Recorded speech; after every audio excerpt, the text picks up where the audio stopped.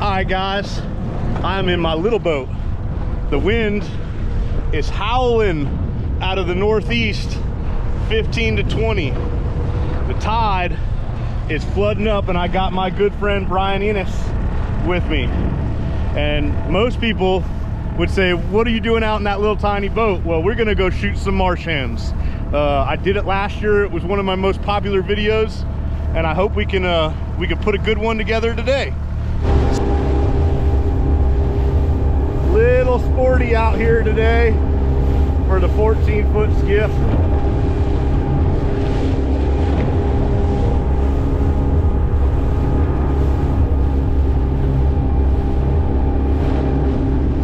I think it's gonna get real high today. Oh yeah, I think it's fixing to smash some birds. Y'all see that? The marsh is flooded up right now. And we're out here to shoot marsh hens. Uh, we get these flood tides and these strong northeast winds and it's perfect condition for marsh hen hunting.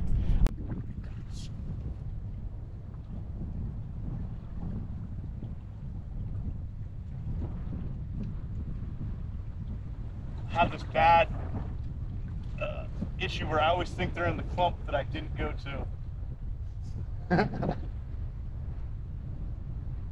I think you'll push them too. Like where we're at right now, when we get up to that last little bit, there'll be a bunch of them because you don't even see them and they they're just Moving. quietly moving away from you.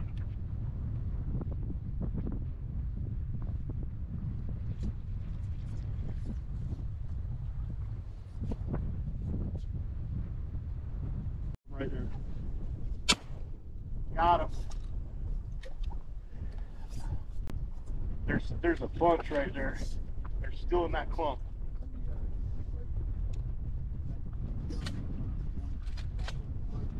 Up one to our left right here, Brian.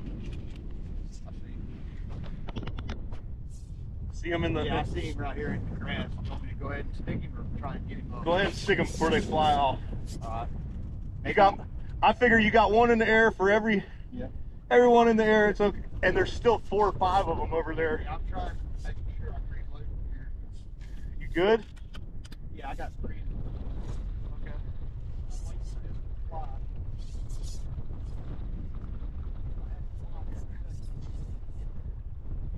Here. Then ones to our right are flying.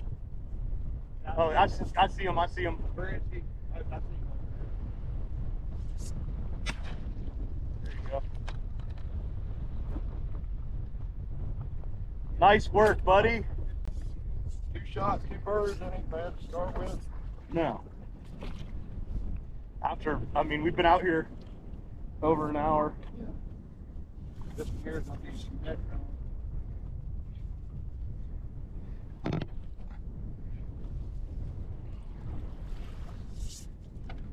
Got him.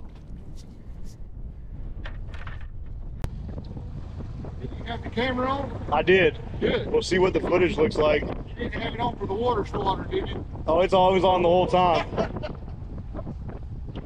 gonna tell everybody. Oh, sure. Don't get me up film doing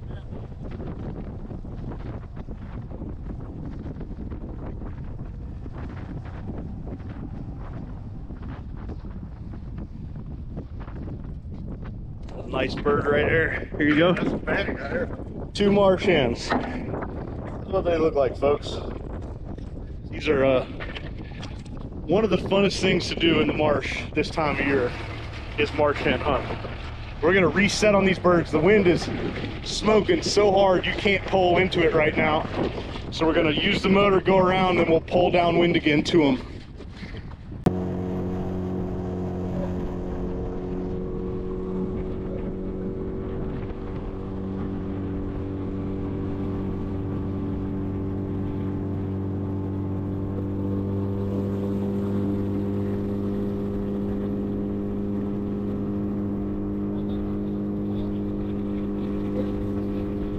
All right, guys, so actual elapsed time has been over an hour. We hit a flat and it was tough. There was no birds. Then we just got on some and Brian shot two and some other birds moved off. So we switched. Brian's on the stand now, poling us. And uh, we're gonna try and get on the rest of these birds. But they are sneaky little devils, man. They'll go real low in the water and they will wait. They don't want to fly. They will sit in those grasses until they absolutely have to fly. And sometimes you do go ahead and water swat one. It just is what it is. We're out here to eat marsh hens, not to show off.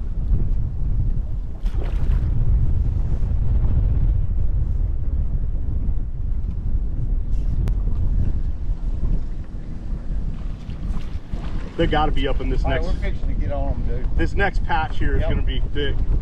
I'm excited. We're fixing, fixing to get on some.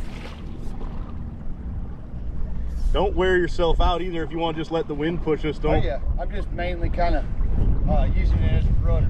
Gotcha. Lay him down whenever you see him.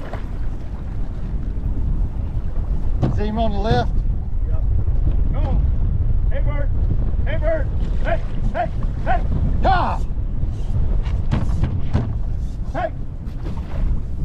Two of them, two of them. Oh, I see that far one. Yep. Come on. Come on. Go.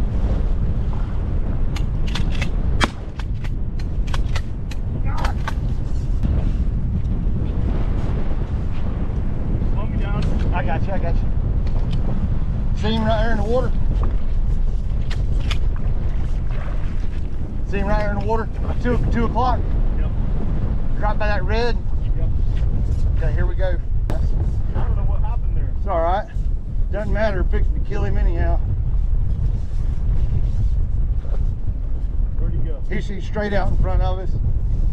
Oh, yeah. See him right there at one o'clock in the water. It's crazy that Two o'clock, three o'clock in the water. Right here. There he is. Right here. Nice. Good shot, Ian. Yes, sir. Yes, sir. My man. That's two yes, sir. You got to get the first one in the air, and you water swat the second one as a consolation prize. hey. Thanks. Nice work, bud. Thank good- you. Good job, dude. Good Oh. job, Ian. We'll get our ow, we'll get our shells and pick our birds up with the motor because the wind is just too hard today. Is that camera rolling? Um. Yeah. That, yeah. It's rolling. Here, I want to show them. We're gonna go get our shells. When I made my last video, people lost their minds about not picking up the shells. And when we do pick up the shells, it's just boring, so it gets edited out of the videos, man.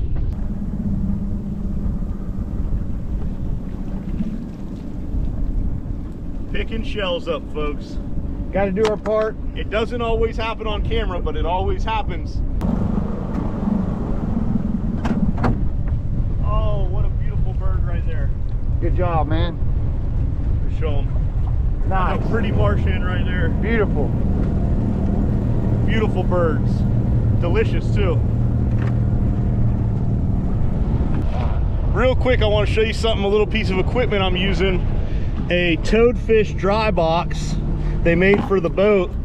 Makes a great little shell box. And what I'm doing is it just uses their suction cup, suction cup right to the deck of the boat. And I got easy access to more shells. You guys see I had a gun jam right there and uh, not sure what happened with that, but uh, I had a misfire and I missed some birds. I had to get some more shells quick, and uh, that's where they were at. I'm gonna put you right over here on them.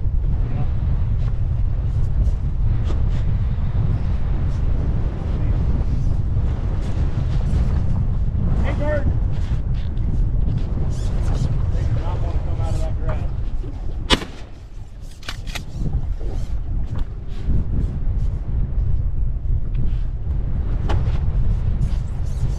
See him right there? See that one right here to, right, to your left? Right there. Got him. Got that one for sure. I uh, There he is right there off the bow. I got him. So we got our five birds. We just set up to do a run through the same area of this marsh here, where we just killed our birds, and Got some stragglers to settle the score with. there's our five. We've had a couple mishaps, but we're doing all right. And um, we'll go ahead and push Brian through here and try to get on a couple more. A bird, kind of midway. That clump over y'all? Yeah.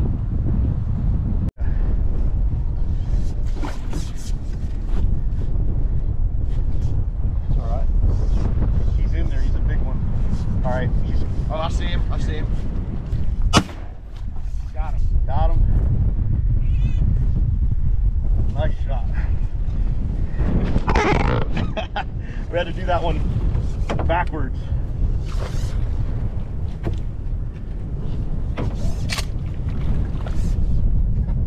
I wanted to make sure you were good and clear, bud. Yeah. No, you're good. Oh, right off the bow here. Yeah, I see him.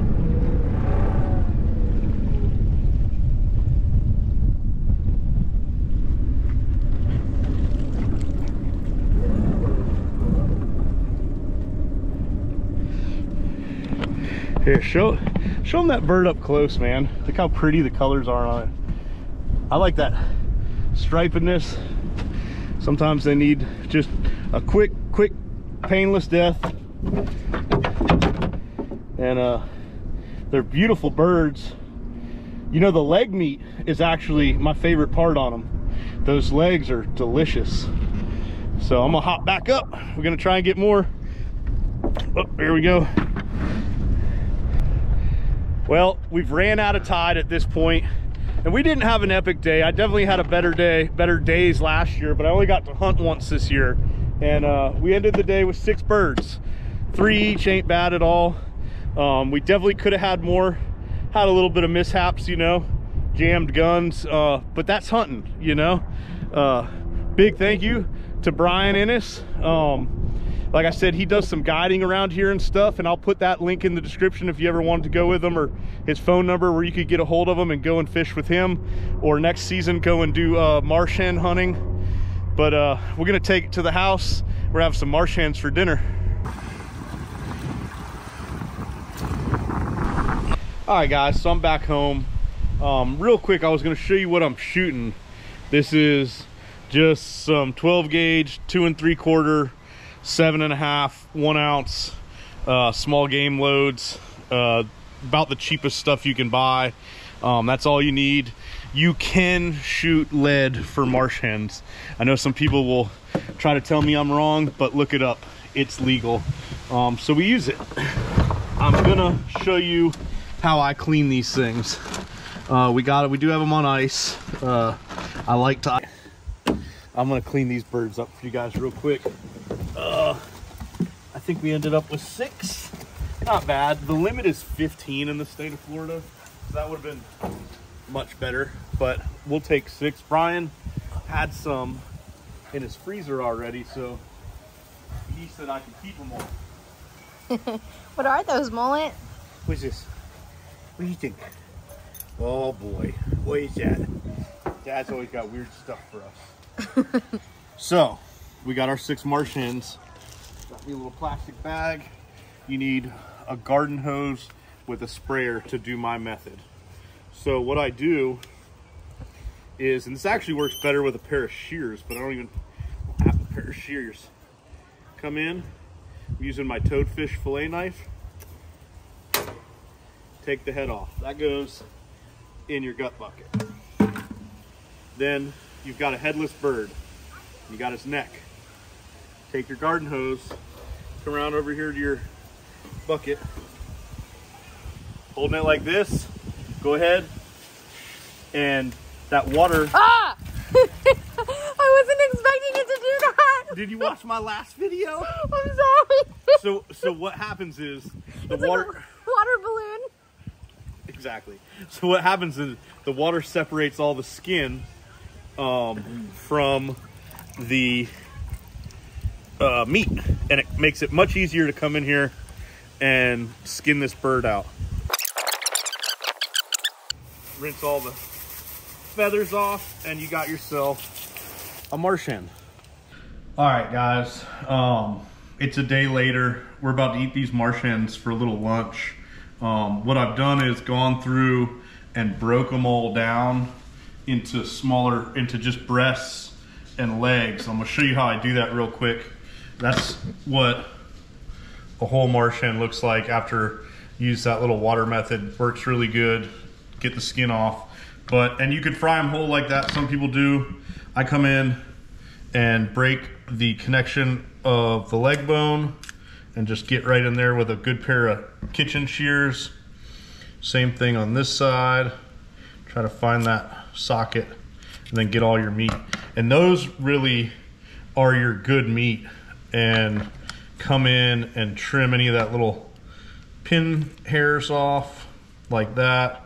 And I will trim little fatty pieces because if there is gonna be an off flavor, a lot of times it's gonna be in your fat.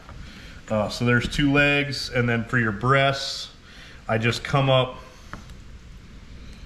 and lot, so you can't pull it like how a dove or something like that. You can just pull that breast. It won't work. You'll rip it all apart. So you come in like this and just make a cut there and cut behind the ribs there. And then you've got your nice little breast meat with a little bit of wing meat there. You could save the neck and stuff for stock if you want. I don't have time today. Uh, so then I'm gonna do a quick little marinade and I'm gonna make datil pepper fried marsh hens. Peppers are the local pepper here in St. Augustine, St. Johns County. Um, so I'm gonna make a mar marinade with that in mind. I have some buttermilk. Go in, I don't know, about a cup of buttermilk. And then I have datil sauce. Now, you're gonna be like, Tug, that looks like ketchup. It's not. Harold's family makes the best homemade datil sauce with our datil peppers, and uh, we eat so much that it, it has a base of ketchup. So you just put it back in the ketchup bottle. So, good bit of that. It's like like a morning after Taco Bell. Um, and then I have some beautiful datter, datil pepper vinegar. And we'll just put a couple shakes of that in there as well. Um, the buttermilk and the vinegar will help break down the uh, the marsh hen, just like, you know, chicken would be good fried like this, like buttermilk fried chicken. It smells really good. Do a little bit more datil, just so we make sure we got that flavor in there.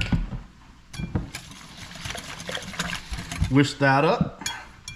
And then we're just gonna go in with all of our legs and breasts. And I'm going to let this marinade at least an hour. Um, not, not too long, um, but just get it in there and get that flavor in there. Then we're gonna fry it. Uh, some people have been asking why I don't fry things like fish and stuff. And if you look at my earlier videos from like a year ago, I fried a lot of stuff. Well, I'm trying to do new stuff for you where it's not just fried every single video. Trust me, fried is my favorite. Um, but I also have a lot of new viewers, so I'm gonna redo some fried stuff. What are you doing? I am battering up these marsh chickens. Uh, it's about an hour in the buttermilk mixture. And then I have some House Autry chicken fry. Ooh, I love that one. I haven't really tried, I don't remember It's trying it. one. But uh, then I'm just working through and rolling each piece in the fry. And then I like to, I like to let them sit for a little bit um, while my grease heats up. And I might run them through the chicken fry one more time just to make it extra crispy. Double batter. So I guess you call that double batter, but we got a little breast right there. And um, should be good. I haven't done the datil buttermilk. I just made that up to this today, and I was like, it better be good, because you know, hot sauce is always good. So, well, How'd you make them last time? I don't even remember. I did um, Old Bay. You sprinkle them with Old Bay and then just flour and fry them. Uh, but this is gonna be mo better. So I got my grease at a little above 350, probably 365, and we're just frying these things until until they are golden brown and delicious. Tell me that don't look good. But see, all my pieces sat out. Um, so before they go in the grease, what I'm doing is I just roll them just real quick in that fry again, just to double coat it. Shake it off, then put them in that grease like that. And uh, we're gonna have a feast here. Bianca's coming home. I'm gonna make her try one for y'all. Last time she told me she secretly didn't like them that much, but she didn't tell me. So what you're looking for is when the pieces start to float up a little bit. That's how you know they're getting done. Um, just for y'all that might wonder how to tell if it's done. The other thing is these Toadfish Ultimate spatulas make great utensils for picking things up out of hot grease like that and moving them over. Um, I love mine. Link in the description. Toadfish, or no, I'm sorry, Tug Trash 15 will get you 15% off. Something's looking good, but Crystal just came up the stairs and her full winter YouTube Do I uh, look ready? hunting attire. Do I look ready for Kentucky? We're going to Kentucky to see my buddy Jared and hunt deer and fish for specks or crappie, whatever y'all call them. It And, needed uh, to be warm. She needed to be warm. I bet she still complains about being cold though. How does this look? It was good. Very nice. I'm ready.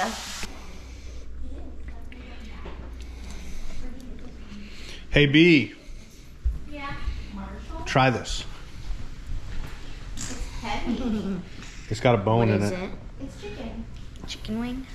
Chicken wing, chicken wing, hot dog and bologna. You gotta get some of the meat. That's good. Yeah. It's possum. It's not. It is. It was baby possum. It's not baby possum. Don't believe him. Ow! I'm being. It's marching. It's delicious. The uh, that datil buttermilk is really good. I mean, it's like subtle in the background, but Can I try it now? yeah. Tell me what you think. Which ones am I eating? I don't know. I was eating the legs. Try a breast. Are these the breasts? Yeah. You gotta kind of just bite it. Is it like chewy? Like Just- a frog? Just like no, it's not chewy like a frog. Frogs are not chewy. Yes, They're delicious. Don't talk bad about frogs. It's like a dark meat chicken. It does.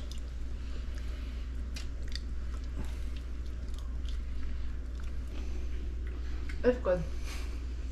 You don't gotta lie. No, I mean, But- I, I'm on my second one. Out of the two pieces, the you got the breasts and you got the legs, and I think the legs are much better and less chewy than the breasts.